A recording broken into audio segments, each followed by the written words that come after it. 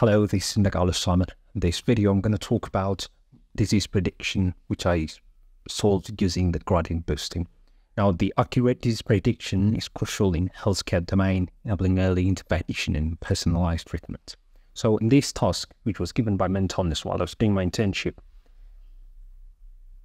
it is the problem is predicting the disease, different disease, which was given there, the target variables. Now, explore, when it comes to the data set that was given, we had two data sets, the training and the testing data set, which was provided.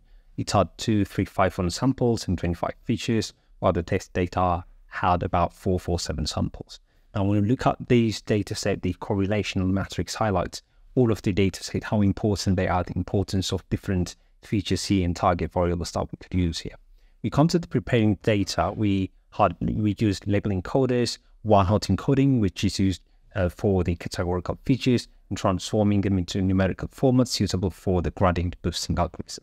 As I mentioned before, the um, gradient boosting algorithm is the algorithm that I used. I tried a random classifier, uh, logistic regressions, linear regressions, different other algorithms, but their performance was very low as compared to the gradient uh, boosting algorithm where I finally decided to use this algorithm in particular because it had much higher performance. For the feature scaling, standard scale is used in standardized feature values, ensuring they are on a common scale, improving the model's performance. Now, for the feature selection, the feature importance course, we use the correlation matrix and sort of used also the chosen features. We use different features as well, relevance to disease. The chosen features directly led to the physiological and biochemical factors which were given there in the in the data set. Now, when it comes to the algorithm, which is the gradient boosting algorithm, this algorithm is a powerful and ensemble learning algorithm that combines multiple weak learners to create a strong predictive model.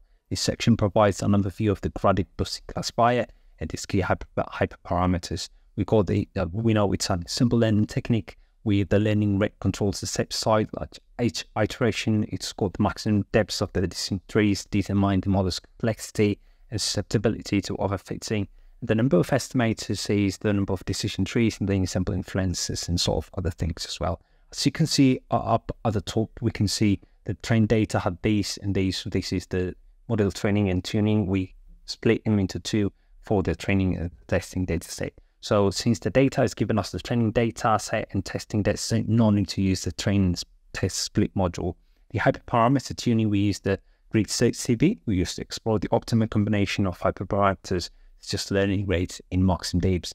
Now for the model training, the gradient boosting classifier string using the optimal hyperparameters identified during the tuning process. So this is what it looks like while we come to the model evaluation. After the evaluation, we get the accuracy to be 8.0 0.087, which is 87%.